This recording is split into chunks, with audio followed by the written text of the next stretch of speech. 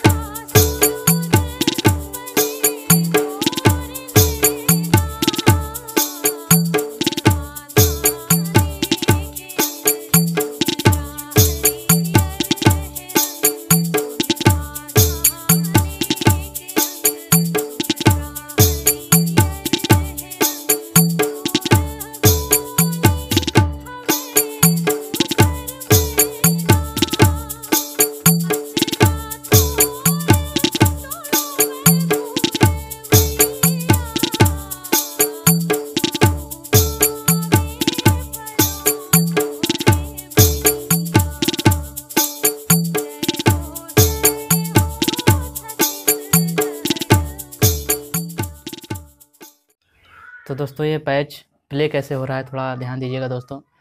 अगर आप सुनेंगे और देखेंगे, तभी जो है कुछ हो पाएगा। और केवल देखने से नहीं होगा, नहीं, ना केवल सुनने से होगा, थोड़ा आप देखिए और सुनिए दोनों चीज़। तो देखिए कैसे क्या प्ले होना है।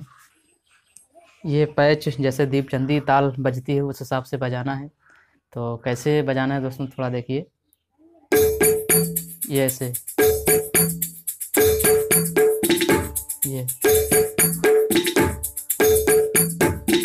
ऐसे कर लीजिए।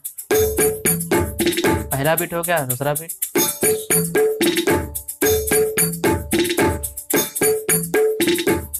थोड़ा इसको आराम से देखिए, थोड़ा आराम से कैसे ये है पैच देखिए दोस्तों, ऐसे। इसके साथ में जाएगा यहाँ तक। जैसे ये। ये होता है, इसके बीच में जो समय होता है, इसके और इसके बीच में जो समय है तो इन दो स्ट्रिक को जो है यहाँ पर लाना है, इसमें। कैसे? ऐसे। ऐसे। तो ये एक बीट हुआ और दूसरा बीट। ये ऐसे।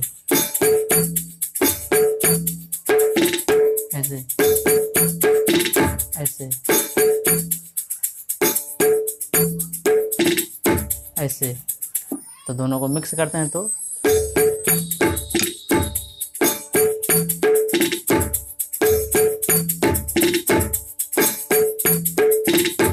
जब दोस्तों आप गाना सुनेंगे, भजन सुनेंगे, जब आप भजन सुनेंगे तो आपको अनुभव हो जाएगा कैसे हमें पैच प्ले करना है। तो ऐसे ही ले जाना है। वन टू थ्री कैसे? ऐसे। पहले ये तीन ले जाना है, उसके बाद ये तीन लाना है। तो इन तीन को लाने में केवल एक ही बेस लगेगा, इनको जब ले जाना है तो यहाँ पर दो बेस देना है। तो ये चलेगा इनके साथ ही, इधर भी और इधर भी, कैसे? ऐसे ऐसे ऐसे।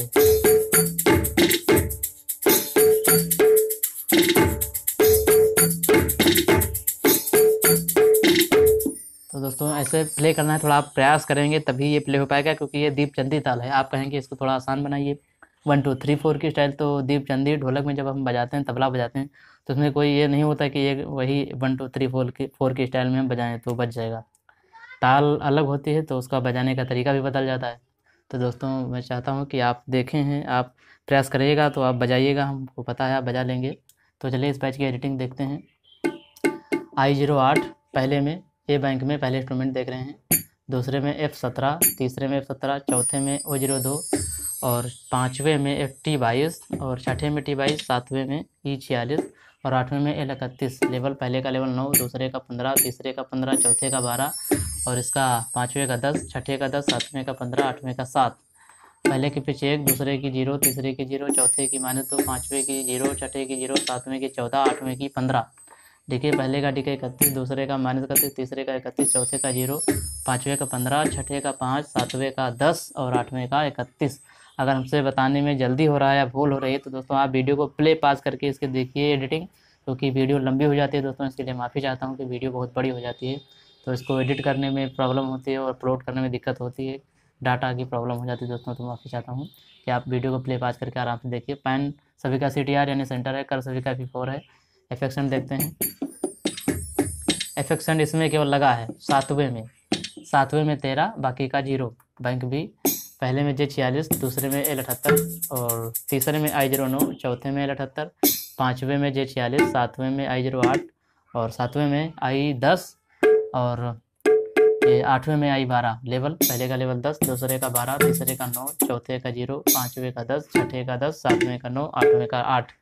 पिच, पहले के पिच सात, दूसरे की दो, तीसरे की माइनस ग्यारह, चौथे की सत्रह, पाँचवें के सात और छठे की एक और सातवें की एक और आठवें की माइनस ग्यारह। ठीक है, पहले का टिके ज़ीरो, दूसरे का माइनस इकतीस तीसरे का चार, चौथे का ज़ीरो, पाँचवें का ज़ीरो, छठे का पंद्रह, सातवें का इकतीस और आठवें का पंद्रह। पैन सभी का सी टी आर कर, सभी का एफी फोर एफेक्सेंट सभी का ज़ीरो केवल इसमें लगा हुआ है, आठ। सातवें में आठ, बाकी का ज़ीरो। इसका इफेक्ट्स देख लेते हैं। इफेक्ट्स इसमें किस लिए लगाया है मैंने डिले? ताकि जब क्रिकेट लगाएँ, थोड़ा आपको ज़्यादा इसको जो है, ऐसे ना करना पड़े स्टिक से। तो आप केवल ऐसे करेंगे, एक बार तो वो डबल हो जाएगा। तो एफेक्ट्स टाइप बीस है एफेक्ट्स टाइम दस है एफेक्ट्स लेवल पंद्रह है।